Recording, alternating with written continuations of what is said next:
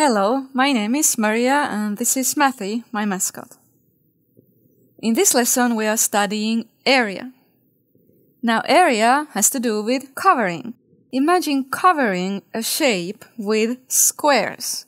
And how many squares will you use? That's its area. Let's say that I have this kind of a funny shape. And it's on this grid. And there's all these squares, right? So basically I just count how many squares are there in this shape. Or you can think of it as covering. If I had little square tiles, how many square tiles would I need to cover this shape? So I can count 1, 2, 3, 4, 5, 6, 7, 8.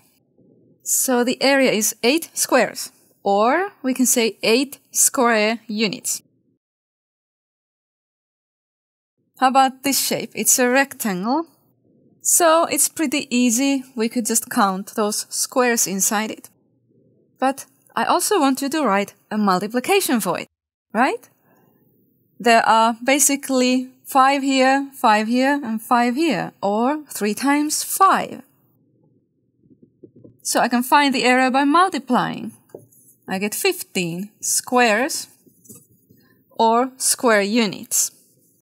Let's look at this again when you're counting how many squares for multiplication.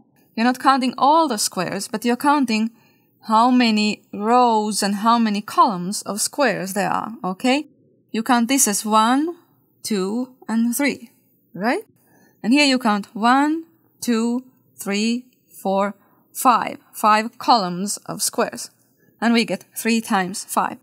Do not count these blue little lines here like one, two, three, four. Do not count those lines is a unit, unit, unit. Three units times unit, unit, unit, unit, unit. Five units, okay? Or three rows and five columns.